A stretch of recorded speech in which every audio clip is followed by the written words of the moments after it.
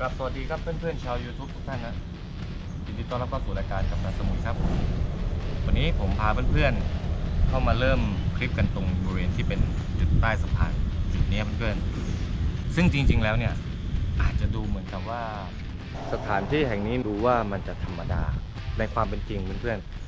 ๆสถานที่ต่างๆ ที่อยู่ ในบางจุดบางแห่งเนี่ยเรายังไม่เคยลงมาเห็นสภาพความเป็นจริงของพื้นที่ตรงจุดนั้นๆเลย เราจะเห็นแต่ตอนขับรถผ่านหรือว่าช่วงบางช่วงเวลาเท่านั้น แต่พอเราลงมาดูใกล้ๆเนี่ยเราจะเห็นถึงความแตกต่างความแปลกของพื้นที่ที่เรายังไม่เคยลงมาสัมผัสจริงๆนั้นเพื่อน อย่างป่ากงกลางลักษณะแบบเนี้ยผมเอาจริงๆนะ จากที่ว่าขี่รถผ่านบ่อยๆเนี่ยก็คือดูแล้วมันก็ธรรมดา ไม่ได้สวยงามอะไร แต่พอเราเข้ามาเห็นใกล้ๆเนี่ย มันเห็นถึงความสมบูรณ์ มีหอยหอยเจาะเกาะอยู่เต็มเลย แล้วก็ความสมบูรณ์ของต้นไม้มันค่อนข้างที่จะสวยอะ่ะ มันทำให้เราเห็นเหมือนกับพี่เป็นไงมั่งระวังมันสไลด์อะพี่ใช่ไหมหินหินมันสไลด์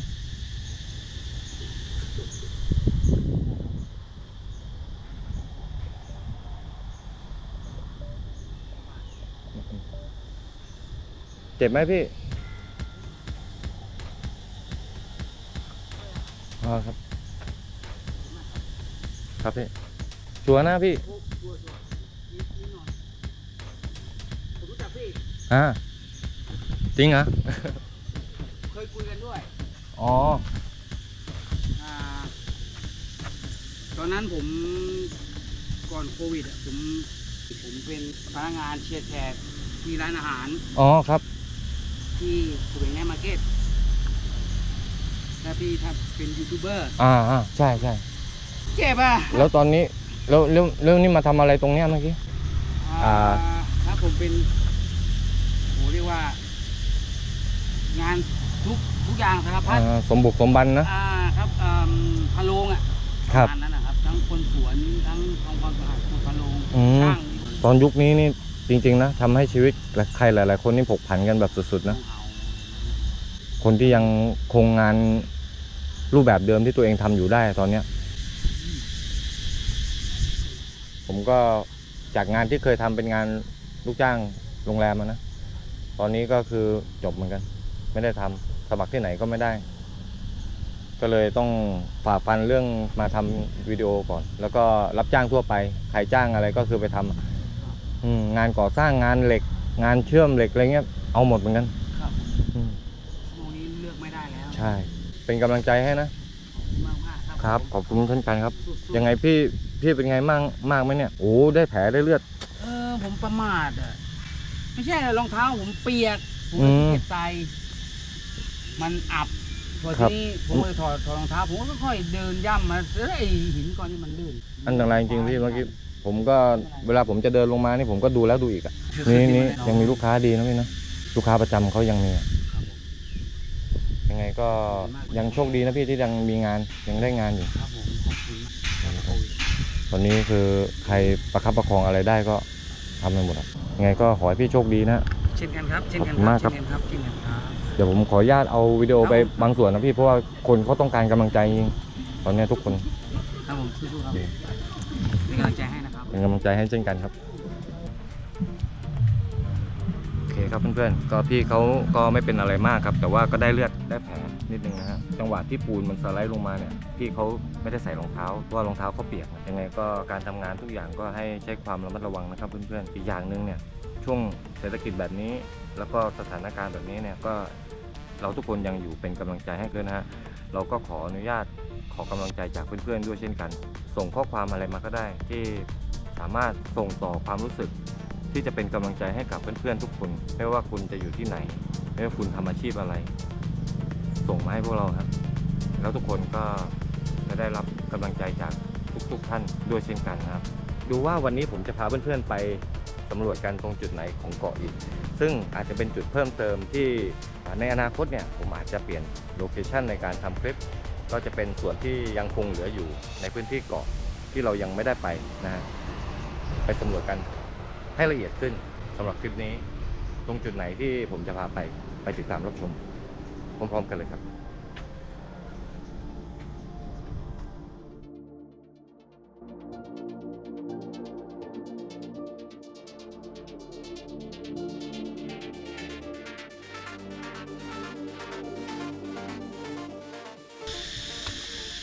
ขี่วิ่งตาม GPS มาเรื่อยๆเพื่อนๆตอนนี้ก็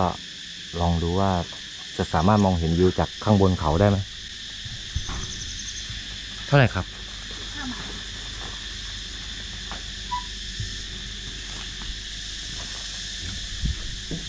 ในในกาแฟไม่มีเหรอหมดเลยไม่เป็นไรครับ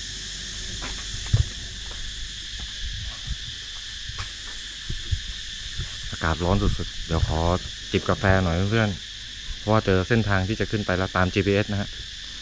ไม่รู้ว่ามันจะสามารถขึ้นไปถึงบนเขาได้ไหมถนนเส้นนี้คือจะพาขึ้นไปบนเขาลูกนี้ใช่ไหม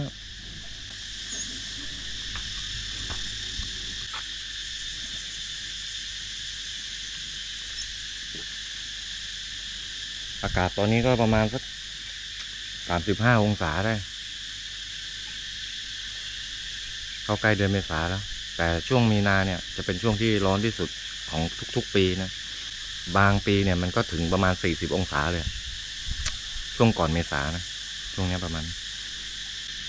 โอเคเพื่อนๆน่าจะลุยกันต่อยาวๆนะครับไปลุยกัน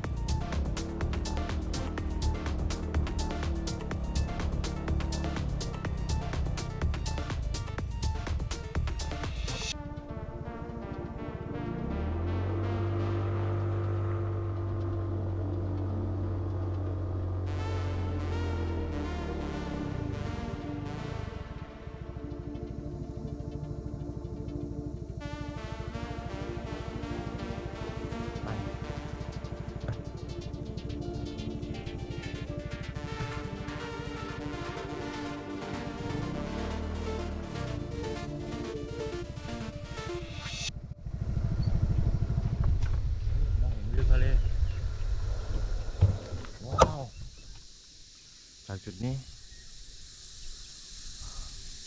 แต่มันดูวังเวงมากเพื่อน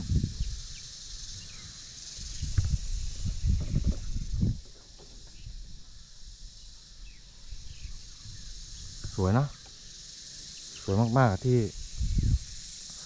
ที่บนเกาะสมุยจริงๆอะยังสวยเยอะ แต่ว่าอยากจะแนะนำสำหรับผู้ที่จะมาซื้อที่ปลูกบ้านอะไรเงี้ย ก็ ให้เน้นเรื่องต้นไม้ธรรมชาติอะไรต่างๆเนี่ยพยายามอย่าไปตัดโค่นอะไรกัน ให้มันมีพื้นที่ที่เป็นธรรมชาติให้อยู่มากที่สุดอะโดยที่เราไปทำลายมันน้อยที่สุด เพื่อนๆจะพบแต่ความสุขแน่นอนนะฮะเพราะว่ามีแต่ธรรมชาติ เหมือนกับเราไม่ได้ทำลายอะไรสักอย่างอะแต่เราจะทำให้พื้นที่ตรงนั้นเนี่ย มันมีชีวิตเกิดขึ้นได้ แต่ว่าเราก็ต้องทำให้มันครบครบถ้วนสมบูรณ์เต็มที่ด้วยนะครับ เป็นห่วงจริง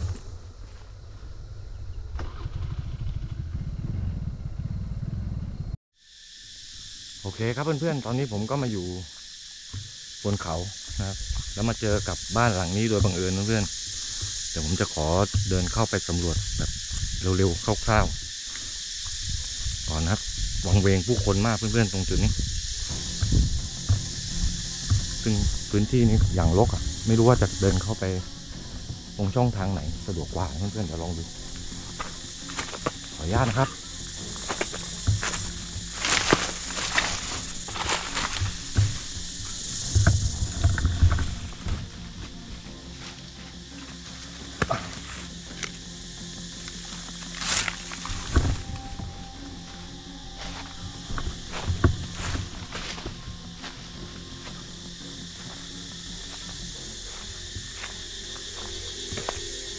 สียงหมานี่อยู่ไกลๆเพื่อนๆ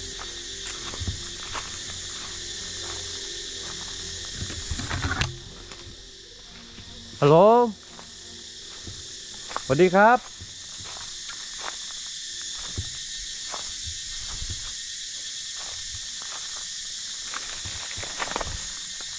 มีวิลล่าอยู่ด้านบนอีกเพื่อนๆผมไม่รู้ว่า มันจะล้างด้วยหรือเปล่า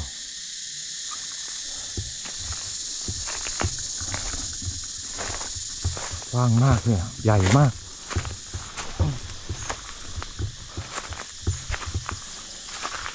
ขออนุญาตนะครับ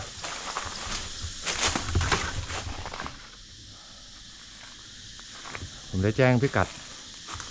แล้วก็บอกคนที่บ้านไปแล้วนะเพื่อนๆว่าผมอยู่ตรงจุดนี้ จะขอเข้าไปสำรวจแบบคร่าวๆดูก่อน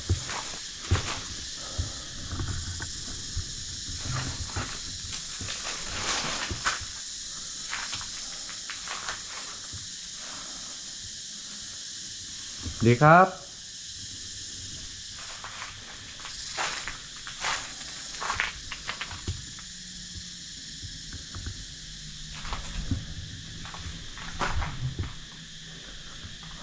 เสื้อบินมาเกาะมืดมาก ไม่ได้พกไฟมา เอาแต่สปอร์ตไลท์มาเลย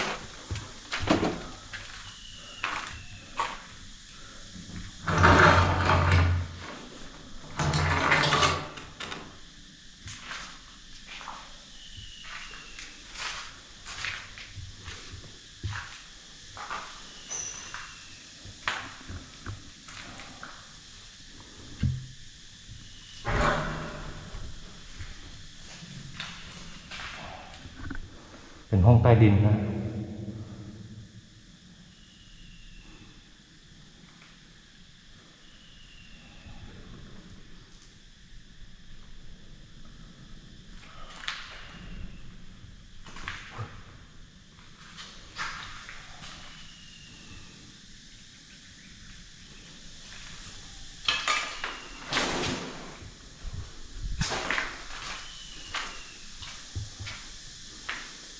ลังนี้น่าจะเสร็จเรียบร้อยแล้วเพื่อนแต่ว่า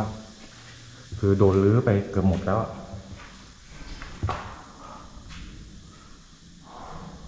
ข้างคาวตัวใหญ่เยอะมาก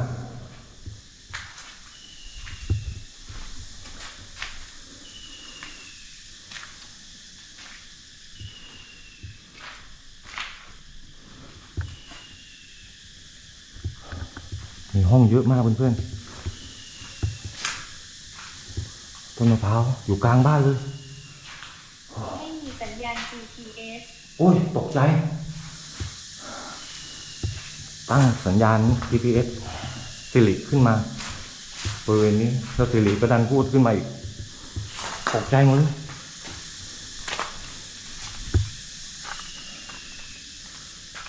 ทางขึ้นชั้นสองรถของผมจับนะตื่นเต้นมัน ใหญ่มากมันเรื่องใหญ่จริงๆอะ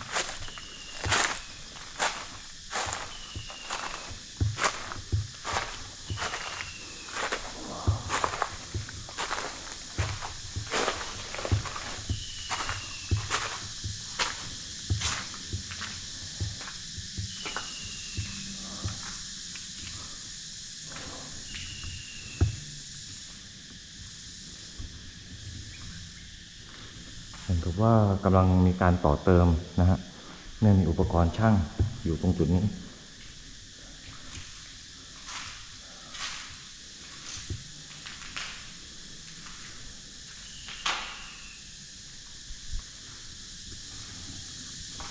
แต่ด้วยสภาพผมคิดว่าน่าจะเสร็จสมบูรณ์แล้วล่ะ มีคนอยู่แล้วล่ะกลายเป็นที่รกร้างไป ลงทุนมหาศาลจริงที่นี่ โดดลึกเลาะไปหมดแล้วครับกระมงกระเบื้อง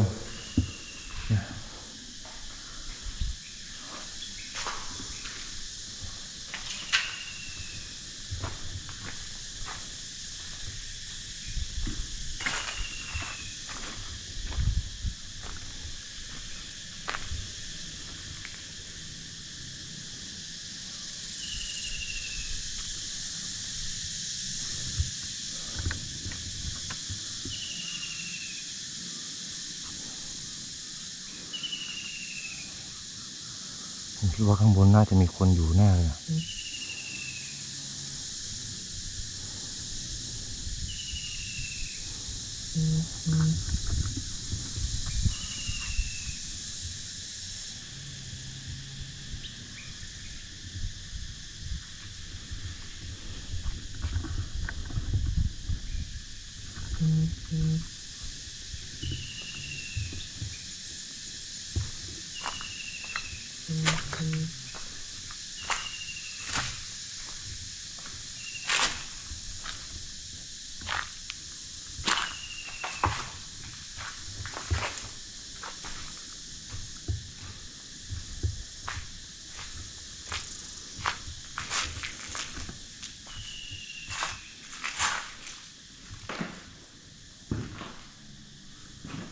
ต้น ไม้ปาเก้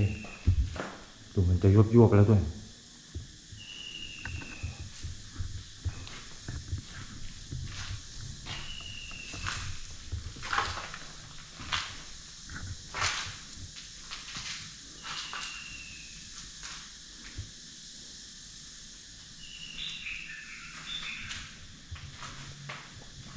ประตูหน้าบ้านทะลุ มาจนถึงตรงหลังบ้านเลยนะเพื่อน ตรงโซนนี้ ผมไม่แน่ใจว่าเป็นโซหลังบ้านหรือเปล่า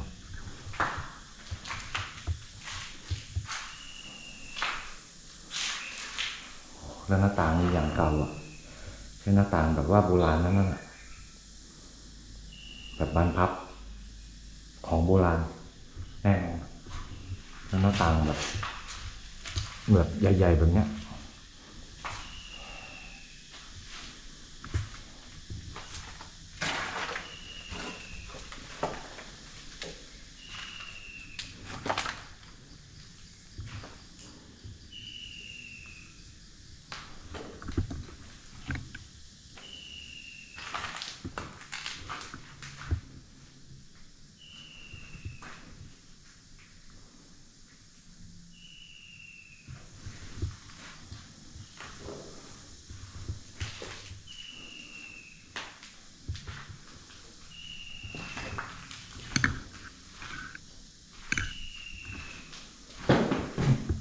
พื้น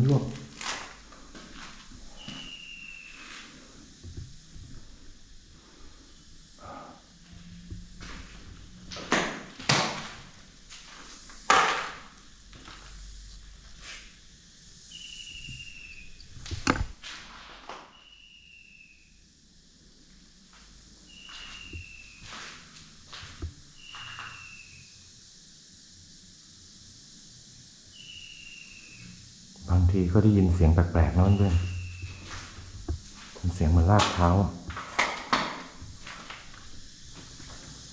ประตูห้องนี้ตรงกันหมดเลยนะ ตรงกับหน้าต่างตรงนั้นด้วย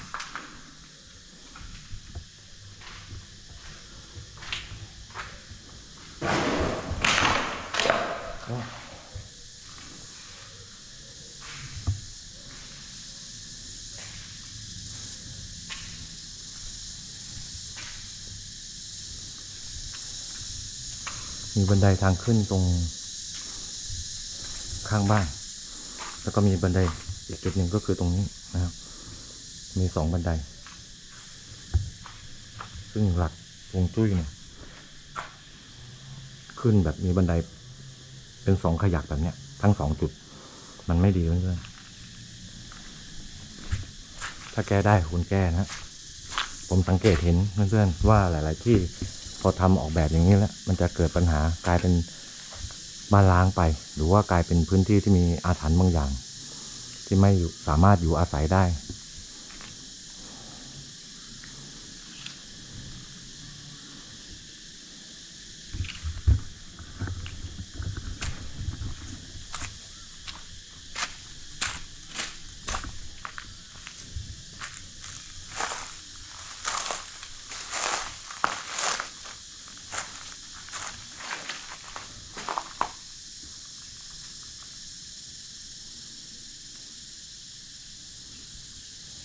เป็นอ่าง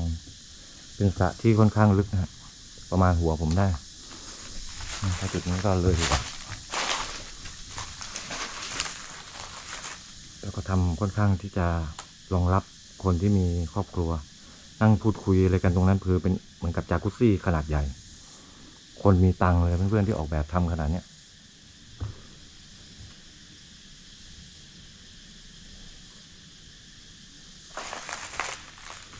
เดี๋ยวเราจะกลับมา ที่นี่ตอนกลางคืนกันว่าบรรยากาศตอนกลางคืนกับตอนกลางวันจะขนาดไหน แตกต่างกันมากน้อยแค่ไหนนะ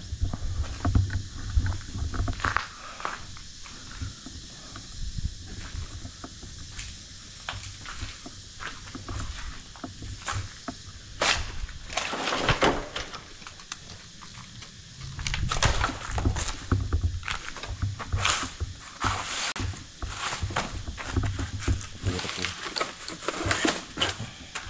เยอะมากเลยตะปู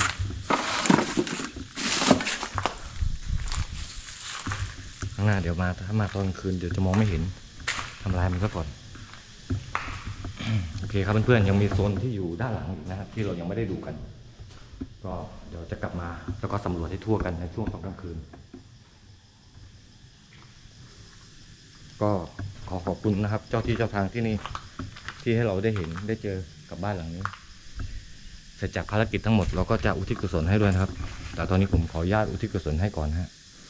ข้าพเจ้า กับทางสมุยขออุทิศกุศลที่เคยทำมาตั้งแต่อดีตจนถึงปัจจุบัน ให้แด่เจ้าที่เจ้าทางณสถานที่บริเวณนี้ ณบ้านหลังนี้ และทุกดวงวิญญาณที่อยู่ในสถานที่แห่งนี้ ทุกท่านรวมถึงเจ้าของที่